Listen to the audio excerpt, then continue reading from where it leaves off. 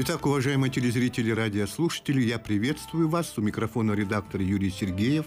Мы работаем в прямом эфире. Это программа «Якутск сегодня». Мы выходим одновременно и на телевидение, и радио «Титим Саха Радиата» национальной вещательной компании «Саха». Режиссеры Николай Слепцов и Михаил Эверстов. В нашей сегодняшней передаче – о подключении медучреждений к медицинским чатам по федеральному проекту «Здравконтроль».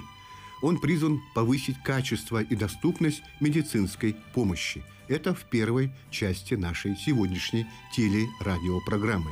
Во второй части для тех, кто ищет работу в городе Якутске, о ситуации на рынке труда, о вакансиях, как можно встать на учет для поиска на работу в Центр занятости, можно ли обучиться бесплатно на курсах, какие мероприятия проводятся в текущем месяце. Итак, в начале нашей передачи. Представлю первого гостя нашей студии. Это ведущий специалист отдела ведомственного контроля качества медицинской помощи и обращений граждан Министерства здравоохранения Республики Саха-Якутия Татьяна Николаевна Адамова. Здравствуйте.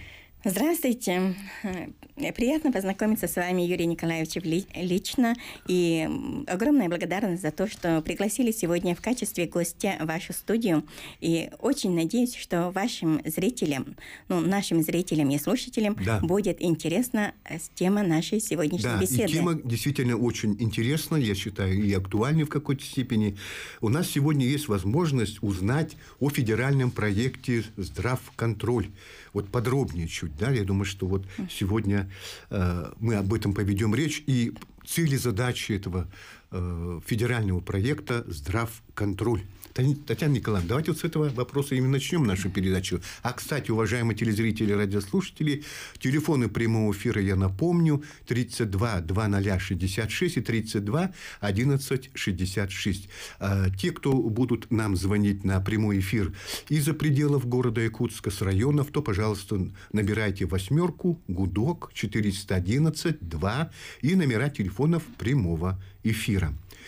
Ну что ж, Татьяна Николаевна, давайте начнем с этого. Цели задачи федерального проекта «Здравконтроль».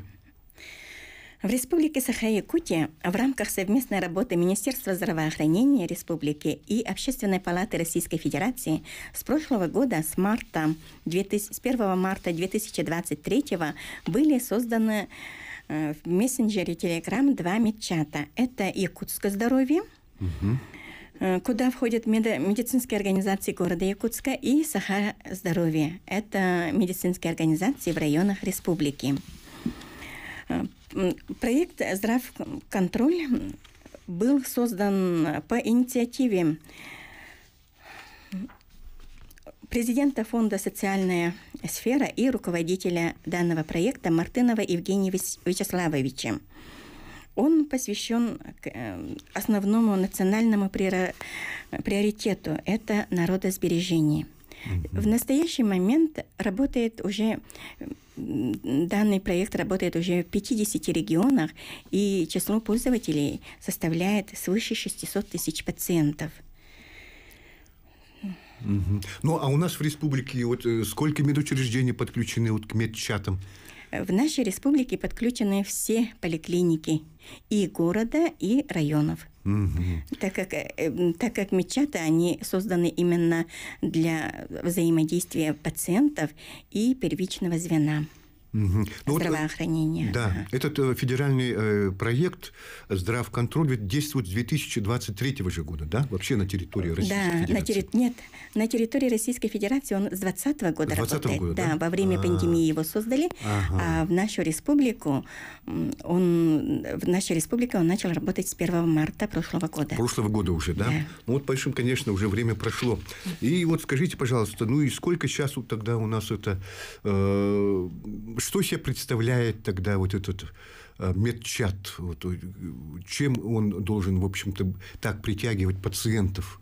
Ну, каждый медчат – это прямой канал для коммуникации жителей ага. и представителей медицинских организаций. Участники чатов обращаются с самыми различными э, проблемами, которые связаны с получением медицинской помощи, и их проактивно решают. Угу. То есть э, у нас регламентный срок решения обращения это два часа в медчате. Отвечают непосредственно либо заместители главного врача, либо заведующий поликлиник. То есть угу. должно пройти именно вот два часа, да, с того момента, как пациент обратился, да, скажем, с каким-то обращением своим вот в медчате да. каким-то вопросам, да. да. Скажите, пожалуйста, ну, конечно, а что это дает медучреждениям, ну, конечно, и пациентам, естественно? Ну, медчаты помогают оперативному решению проблем пациентов при нарушениях законодательства, угу. а для э, нас, организаторов здравоохранения, это возможность, э, как я уже говорила, проактивного реагирования на проблемы. То есть у нас уже будет меньше обращений от граждан в надзорные органы, либо mm-hmm. же в социальные сети. Например, у нас уже зарегистрированы неоднократные случаи, когда граждане писали, чтобы мы прекратили производство по ранее ими поданными, по ранее поданным ими заявлениям, uh-huh. так как э, через медчат им уже удалось успешно решить проблемы. Ну вот я, конечно, обратился за некоторой информацией вот по поводу да, федерального проекта. Это, как бы сказать так, общественный контроль да, вот за э, системой здравоохранения. Конечно, вот мы уже говорили, что есть обратная связь э, вот, для оперативного решения проблем граждан. Вот. Ну вот, например, э, у нас есть вот э, в поликлиниках, в больницах э, установлен информаты, да? Вот, информат, скажем так, вот, где можно записаться к врачу. А вот в чатах можно это указывать, например, запись к врачу можно там сделать или нет? Или вызов врача на дом, например, да, это совсем другого уже. Это через госуслуги, естественно. Э, записаться к врачу или же вызвать врача надо можно через единый колл-центр 122, да. либо же через портал госуслуг, да. либо же через информаты угу. в поликлиниках. А в медчаты можно написать, если есть проблемы с записью к врачу. Так. Например, длительное время не записывают к узкому специалисту, либо же с вызовом врача. Например, у нас э, в медчате поступило одно обращение от гражданина одного, одного из улусов, которая ага. писала, что ребенок у нее заболел. Так. Это были длительные новогодние каникулы. И она э, писала, вот ребенок у меня заболел, у него высокая температура, и как мы вызовем врача, если сейчас поликлиники не работают? Ага. Угу. А... Ну, в данном случае, например, если поликлиника не работает во время э, выходного дня, все равно у нас работают кабинеты неотложной помощи. Угу. И мы посоветовали маме с ребенком либо поехать сразу в поликлинику, либо же по состоянию ребенка вызвать скорую помощь.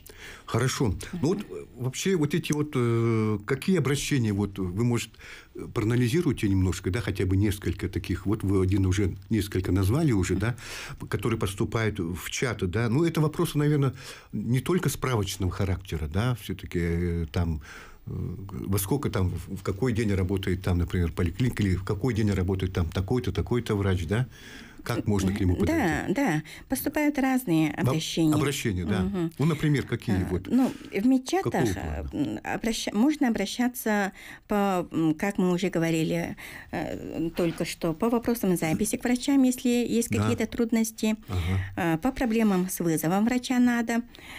А, если отсутствует маршрутизация пациентов, например, я выписалась со стационара и не могу далее уже где лечиться, мне не сказали, и прихожу к терапевту или кому идти. Угу. Вот в таких случаях. Также, если нарушается срок ожидания на обследование либо анализы, вот справочные вопросы и разъяснение нормативных документов, нарушение этики и деонтологии, незаконные требования и навязывание платных услуг. Но тут, Юрий Николаевич, я должна сказать, ага. что по двум этим последним категориям к нам мечаты обращений не поступало. Не поступало, да? Да, в основном у нас, э, да, к сожалению, вот э, бывают проблемы с записью врач, э, врача, угу, угу. и длительное ожидание есть, и справочные вопросы. Да. Например, как записаться, э, если я проживаю в Улусе и приехала в Якутск, как записаться к офтальмологу. Угу. Ага. Ну, к офтальмологу можно э, вот, в республиканскую больницу. К сожалению, в Якутскую республиканскую офтальмологическую больницу взрослых принимают только по, при наличии Э, направление. Направление обязательно. Да, с, угу. с поликлиники по месту жительства. А, при неотложных и экстренных состояниях, конечно же, возможно сразу об, обратиться в Центр неотложной помощи по улице Свердлова, 18, а дети принимаются по записи без направления. Записаться можно по телефонам, которые есть и в ТЮГИС тоже, и на сайте официальном больницы. Это 500 707. Вот если просмотреть вот некоторые да, обращения, да, вот если так по регионам, да, то я вот, например, э, там среди первых, где вот э, больше люди обращаются, это вот, скажем, такие навязывания платных услуг, да, например, начинает навязывать, да, пациенту платные услуги, врач, скажем так, или неудовлетворение удовлетворительные условия пребывания пациентов в стационарных отделениях, да, вот, скажем, поликлиник, больниц в том числе, да, поэтому, ну, как, как говорится, нареканий ведь пока еще тоже хватает э, вот, для э, этой отрасли здравоохранения.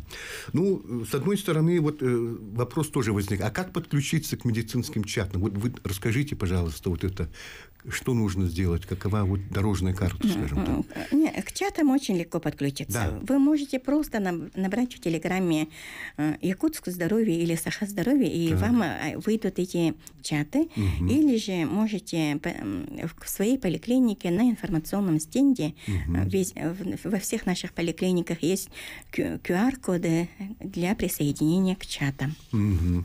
То есть, в общем-то, не так, не так сложно, да, скажем, да, да. подсоединиться.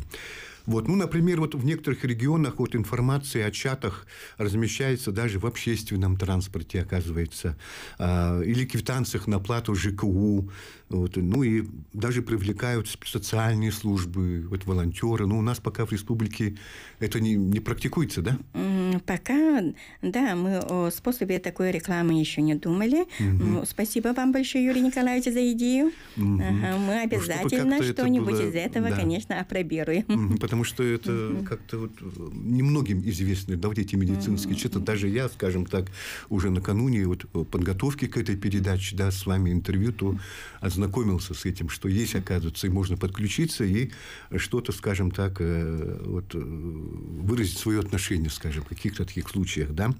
Ну, вот, например, вот Евгений Мартынов, вот, руководитель проекта «Здравконтроль», вот он, оказывается, организовал вот этот, да, федеральный проект, и действительно э, оно, вот этот опыт их работы распространили по регионам Российской Федерации. И вот наша республика тоже этот опыт переняла, и ну, как бы вот, скажем, с прошлого года только, только, только, может быть, да, год прошел, может, с небольшим чуть. Поэтому он, как э, зампред комиссии по общественному контролю и работе с обращениями граждан а вот в Общественной палате Российской Федерации действительно ратуют за то, чтобы вот этот э, проект был, э, скажем так, федеральный проект был, скажем, распространен во всех субъектах Федерации Российской Федерации, да, поэтому эта работа очень большая тоже проводится.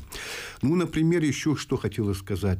Вот новый способ связи, да, через чаты, конечно, он, скажем, для людей пока еще, ну, только-только вступает. И поэтому люди вот... Э, сегодня наша передача одна из тех вот, скажем, ну, разъяснений, наверное, да, вот по этому федеральному проекту, что действительно он должен как-то... Эти медчаты должны оперативно и эффективно решать все э, вот эти проблемы. Ну, наверное, тут специалисты у вас работают, наверное, вообще вот в этой системе, да, вот э, больше, наверное, правовики, да, скажем так. Нет, э, люди обращаются именно за медицинской помощью. Ага. Поэтому э, именно заместители главных врачей а, работают, или да? же mm заведующий поликлиник, потому что в основном вопросы э, такого характера поступают, что вот ага. э, или проблема с вызовом, или проблема с записью на обследование либо к узкому специалисту. Ага. И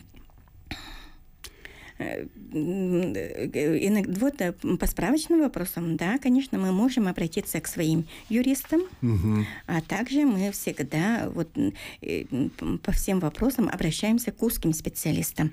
Иногда, так как ни один врач не может быть универсальным, если поступает врач, если поступает вопрос, например, характера ну, где больной просит хирургической помощи, мы спросим, конечно же, угу. у главного хирурга. Ну вот вы назвали два часа, да, все-таки вот после того, как пациент обратился, угу. должно вот в течение двух часов уже дать ответ на его, скажем, да, э, это, ну... Два, два часа, да. И, ну, это, и. Мы можем от, дать ответ на общие вопросы, ну, но иногда, да, такое, да, но иногда у людей бывают очень сложные вопросы. Да. Но в течение двух часов мы должны обязательно среагировать, и в личном сообщении э, ответственный сотрудник спрашивает фамилию, ну вот персональные данные да. пациента, ага. какая проблема у него точно, и как можно решить.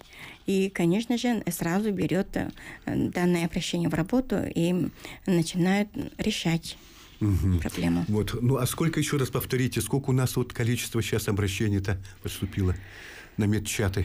Э, ну, сейчас если за прошлый год с марта по декабрь ага. поступило свыше 500 обращений, так. то уже с января этого года по э, сегодняшнее число свыше 600. 600, да? да? это угу. уже говорит о том, что медчаты действительно нужны угу. и действительно помогают нашим людям.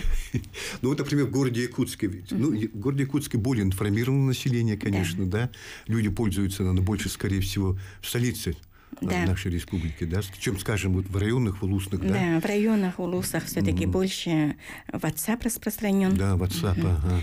Поэтому в, в основном, да, большинство обращений поступают именно из города Якутска. Угу. Ну, вот эти вот э, самые, что вот мы называли вот сейчас, что установлены вот в этих самых э, больницах, поликлиниках, да, ну, в тех же улусах ведь тоже там и э, через услуги, да, вот через вот это портал госуслуг, да, поступает, все-таки эти тоже, ну, ну, ну, скорее всего, там и такие обращения, скажем, какие-то отрицательного плана, они ведь не принимаются, скажем так, да, как-то там это, ну, сразу вход не идет. Почему? Да. Э, нет, мы, мы стараемся реагировать на все очень быстро. Ага. Э, к, к нам Министерство обращений поступает по нескольким каналам. Вот один из них это Медчат, так. Э, второй это портал госуслуг. Угу куда можно тоже обратиться с жалобой. И непосредственно на официальном сайте министерства угу. тоже можно написать. Ну и люди самостоятельно тоже приносят свои обращения. Угу. Угу. Ну, у нас население, конечно, сейчас более информировано, скажем так, да, но вот напрямую обратиться, скажем, тому же главному врачу, да, скажем, какой-то городской больнице, да, например, тут не всякий сможет, скажем, там принять, и попасть иногда бывает очень трудно пациентам, да, и, конечно, вот медчаты в этом плане действительно оно может как-то больше дать возможности, да, э, вот нашим э, пациентам, э, якутянам все-таки достичь своей цели, да, вот, ну, в решении какой-то проблемы, которая возникла у них. Да, вы совершенно правы. Ага. Здесь э, в медчатах что удобно, это то, что э, ну, некоторым людям не нравится жаловаться. Вот, вот, угу. вот, я что имею И в виду, вот когда ага. в медчате пишешь о своей проблеме, да. это не означает, что вы написали жалобу на кого-то. Ну вот некоторые считают ага. так, вот, что вот тут жалобы, вот у нас теперь ага. есть куда писать. Да, медчаты, да. Жалобы Некоторые люди совсем не любят писать жалобы, и поэтому они так и не пишут. А через медчаты можно просто проблему свою озвучить так. и понимать, что эта проблема будет решена. Ну, когда озвучивается проблема, люди всегда ждут ответа, конечно. Да. Вот официального ответа, да, из любого любого медучреждения, там, главного врача, скажем, или зам главного врача, конечно, это тоже. Вот, ну, Ага. Ну, ну, у нас остается... В, медчате сразу представляются, поэтому А-а-а. уже понимаю, что вот не анонимный Анонимности пользователь. там нету? Да, э, нет, анонимность есть, персональные данные нельзя в общей а ленте. вот, кстати, насчет персональных данных да, там это... нельзя в общей ленте озвучивать. озвучивать. Это в правилах медчата сразу написано, но вот когда уже в, ли, в личном сообщении, там уже представители организации, конечно, представляются. Ну что ж, а, уважаемые телезрители и радиослушатели, мы попытались сегодня вот а, до вас довести с Татьяной Николаевной Адамовой, ведущим специалистом отдела ведомственного контроля качества медицинской помощи и обращения граждан Министерства здравоохранения Республики о введенных вот медицинских чатах э, в рамках федерального проекта «Здравконтроль». Ну что, спасибо вам за участие в передаче. Вот, ага. И думаю, что это не, не последний наш будет выход в прямой эфир. Итак, на этом пока все, первая часть. Итак, уважаемые телезрители и радиослушатели, мы продолжаем нашу передачу «Якутск сегодня». Э, следующий наш участник во втором блоке радиопрограммы телепередачи – это руководитель управления занятости населения городских округов офис «Моя работа» Мария Трофимовна Слепцова. Здравствуйте. Добрый день. Мария Трофимовна. Информация для тех, кто ищет работу в городе Якутске, куда обратиться, о имеющихся вакансиях и что необходимо знать при трудоустройстве в первую очередь. Ну, вначале, наверное, хотелось бы, чтобы вы подвели какие-то итоги, да, 9 месяцев Пожалуйста. Угу. А, вот по итогам 9 месяцев к нам обратилось за предоставлением а, государственных услуг в сфере занятости населения более 7,5 тысяч человек. Угу. И из них было зарегистрировано а, в целях поиска работы это 3332 человека и а, трудоустроено 1827 человек, да, или это 54,8%. А, воспользовались а, такой услугой, как содействие самозанятости, то есть это открытие собственного дела а, с финансовой поддержкой 150 а, тысяч, это 8 граждан. А, также вот по стимулирование трудовой мобильности есть, да, когда, значит, угу. люди переезжают из города Якутска, допустим, другие улусы, регионы и так далее, воспользовались 4 человека, которые, значит, один это временно трудо трудоустроился, и трое на постоянное место работы, и которые переехали на постоянное угу. место работы для трудоустройства. И воспользовались а, с финансовой поддержкой по проезду а, суточных, и вот материальная поддержка также дается 17 400, да, вот этим воспользовались. А, было, были трудоустроены также по стажировке, это 4 молодых специалиста. На временных и на общественных работах у нас также были трудоустроены, допустим, при контрольном показателе испытывающих трудности одного инвалида мы трудоустроили, детей в летний период трудоустроили, с материальной поддержкой, да, 422 а несовершеннолетних ребенка, значит, это в возрасте от 14 до 18 лет, свободные от учебы время. И на общественных работах 54 гражданина а, участие приняли, а, в том числе это по программе дополнительных мероприятий по снижению напряженности на рынке труда. А, здесь 40 человек. Ну и а, вот 515 а, были направлены на профессиональное обучение. Это у нас э, по двум программам идет, да, по содействию э, занятости в рамках вот э, национального проекта «Демография» у нас 421 гражданин обучился, и вот направлено, да, и также, значит, направлено на безработных граждан 81. Это по программе содействия занятости населения в Республике Саха-Якутия, и также 12 граждан для трудоустройства, для последующего трудоустройства промышленные предприятия. Также э, профориентацию получили у нас по итогам 9 месяцев 2956 э, граждан, э, психологическую поддержку получили 340 человек, да, и социальной адаптации получили 296 безработных граждан. И вот самое такое мероприятие, где активно люди приходят за трудоустройством, это ярмарки вакансий. Таких ярмарок у нас было 15. Угу. Вот за 9 месяцев, Это да? за 9 месяцев года. все, угу. да. Ну что ж, уважаемые телезрители и радиослушатели, если есть какие-то вопросы, то, пожалуйста, звоните нам 32 2066 и 32 11 66. Ну что ж, Мария Трофимовна, скажите, пожалуйста, какова ситуация сейчас на рынке труда в городе Якутске и вообще чем привлекателен рынок сегодня? Угу. Вот на 1 октября у нас состояло на учете 961 а, гражданин а, в в поиске работы, да, и угу. из них 591 это безработных граждан, это уже со статусом. И в городе Якутске это 579, и в Жатае у нас 12 безработных. Ну, примечательно то, что в городе Якутске, как и в целом по России и по нашей республике, да,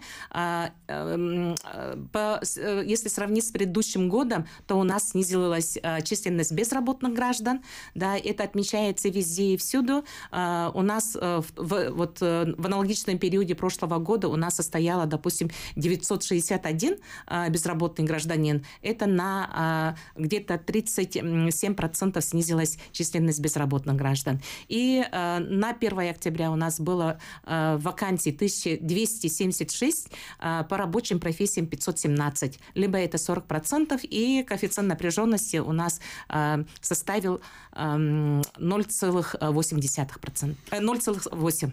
Ага. А какие специальности вот наиболее востребованы у нас на рынке труда? Ну, если вот посмотреть рабочие, да, uh-huh. это получается у нас э, водители, это охранники вневедомственной охраны, разнорабочие, уборщики, а, продавцы. Если из служащих посмотреть, то здесь идут э, различные инженеры, а, полицейские, менеджеры, специалисты, бухгалтеры и так далее. Ну и, конечно, законный вопрос тоже к вам хочу задать. Это вот как можно встать на учет да, для поиска э, на работу в центре занятости? Угу. А, очень хороший вопрос. Это интересует, наверное, всех. Конечно, да? большинство. Ага. А, здесь ранее люди к нам приходили со всеми документами, да, вот собирали документы и так далее. Сейчас, да. вот с 22 года на основании постановления правительства после пандемии угу. теперь а, подаются данные заявления сидя из дома. То есть через ага. интернет портал Работа России.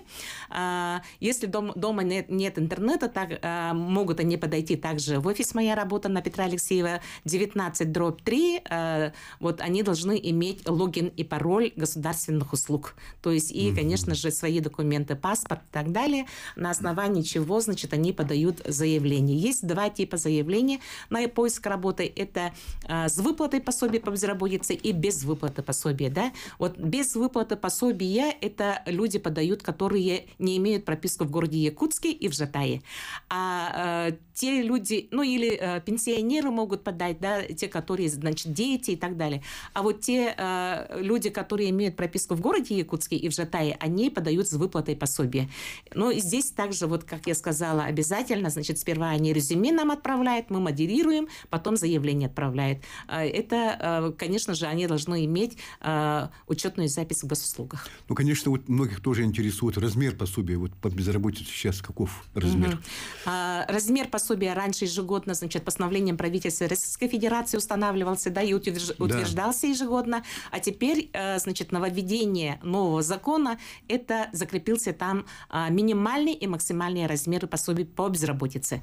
И э, каждый год 1 февраля идет индексация, да, а, и в том числе, значит, пособие по безработице здесь всех пособий, да, и а, здесь вот э, с 1 февраля этого года у нас индексация, значит, была 7,4. И на основании этого минимальный размер пособия по безработице вот в России стало 1611, и вот с районным коэффициентом в городе Якутске у нас стало 2255 рублей, и максимальный размер, значит, стал 13 739 рублей, и стало, значит, в городе Якутске 19 15 735 рублей.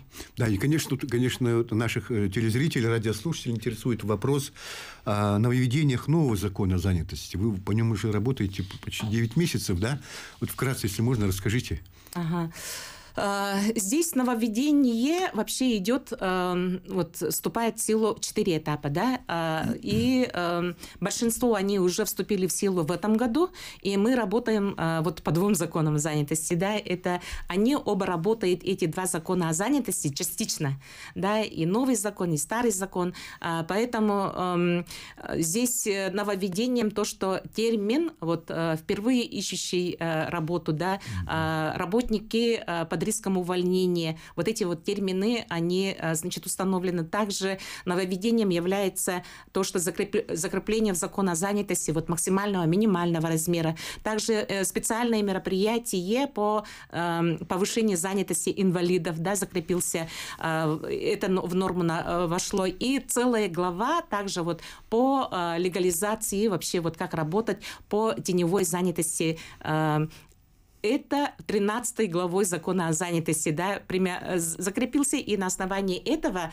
вот, э, вышло постановление правительства Республики Саха 30 июля номером 801-Р о межведомственной комиссии. И межведомственная комиссия, значит, она была уже создана, уже первое заседание прошло, и на основании данного, значит, э, эм, постановления создаются во всех муниципальных образованиях рабочие группы меж межведомственной комиссии по противодействию вот, нелегальной занятости. Вот, угу. если коснуться опять тут инвалидов, да, какие вот специальные мероприятия по содействию занятости вот инвалидов вступили в силу? Здесь э, статья 38, да, а, значит, вступил в силу также, значит, вот в сентябре месяце, буквально вот 1 сентября, и здесь говорится о том, что э, квотирование рабочих мест. У кого, значит, вообще вот э, в каких предприятиях есть численность от 35 и выше, они должны квотировать рабочие места для инвалидов. И эти квотные рабочие места, они должны быть обязательно быть заполнены, выполнены трудоустройством э, как раз граждан с инвалидностью, да. Угу. И э, здесь э, хорошо, что у нас в Республике Саха э, данная мера, она выполняется еще э, вот 18 года, и она вступила в силу, поэтому мы безболезненно перешли, но есть, э, значит, вот организация, которая не выполняет квоту, поэтому мы 19 сентября провели рабочие совещания совещание, пригласили тех, которые перевыполняют квоту, да, и которые не выполняют квоту. Mm-hmm. И здесь они, а, значит, обменялись опытом, а, те лучшие, которые перевыполняют, показали лучшие практики. Естественно, значит, мы провели как семинар также, но и а, было также вот проведен, проведен круглый стол о межведомственном взаимодействии. Это 26 уже сентября, значит, было, да, по повышению занятости инвалидов.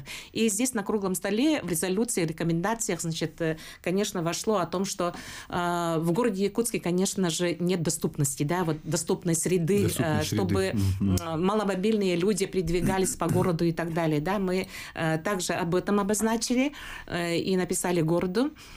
Также мы информационный листок для граждан с инвалидностью, э, с мой бизнес, э, с управлением соцзащиты на социальные, вот по социальному контракту, как искать работу и так далее мы все это э, должны э, запустить такой информационный в одном листке и передать медико-социальной экспертизе, где э, устанавливается, значит, вот квоты, да, то есть инвалидность людям.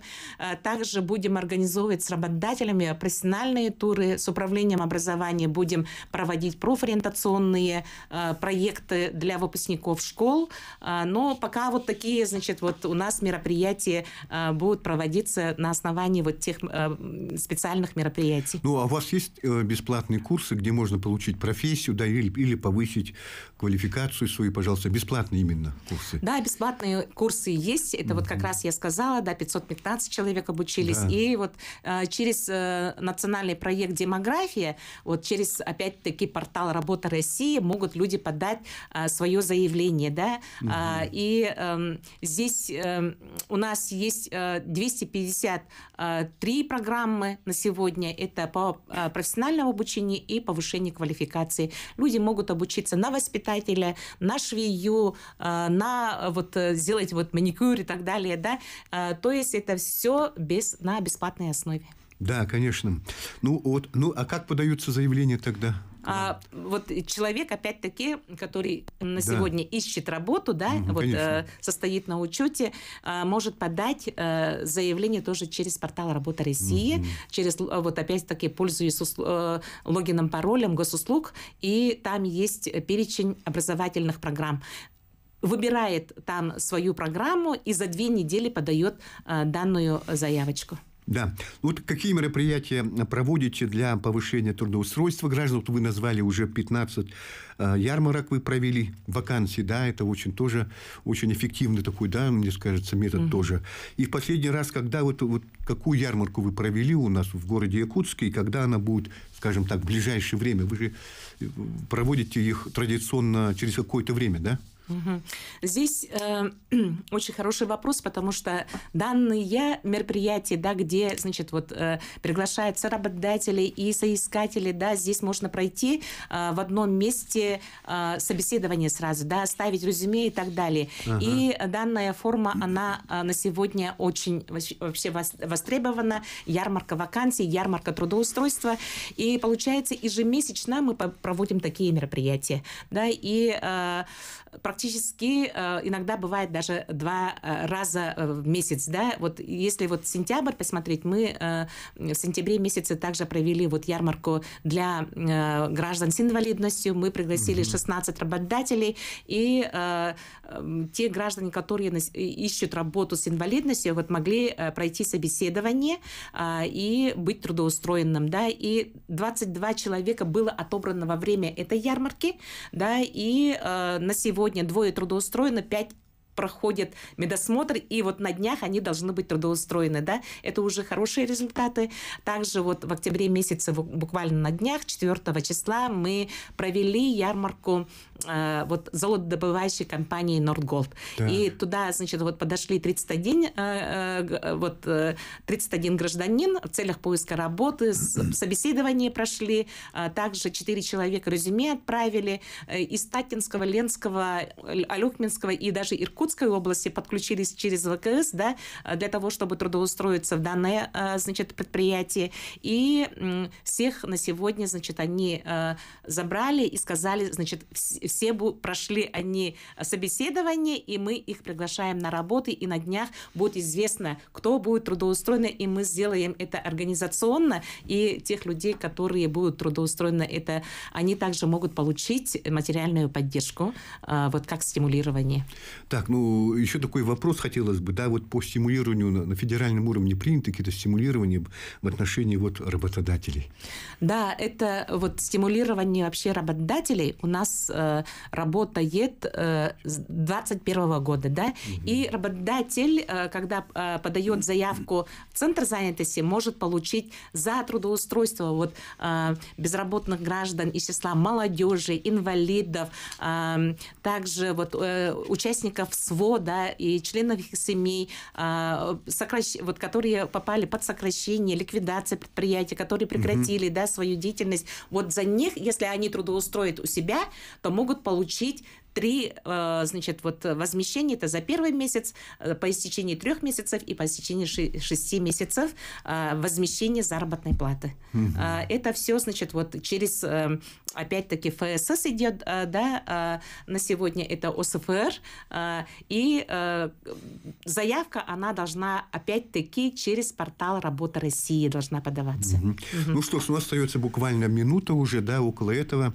Вот, Мария Трофимовна, что пожелаете Э, жителям города Якутска, для тех, кто ищет работу. Еще раз, может, что-то напомнить, а, пожалуйста. А, вот э, сегодня я а, э, хочу пригласить, да, опять-таки на ярмарку вакансий, да, которая у нас э, будет вот на днях, тоже от 9 числа для освобожденных из мест лишения свободы и, освобож... и осужденных, да, это 9 числа завтра после обеда с 2 до э, 4 часов. Также у, у нас будет 24 числа ярмарка вакансий для молодежи. Приглашаем на эту ярмарку. Ну что ж, уважаемые телезрители, радиослушатели, на этом наша теле радиопередача «Якут сегодня» прощается с вами. До встречи на следующей неделе. Вел передачу редактор Юрий Сергеев. Всего доброго. До свидания.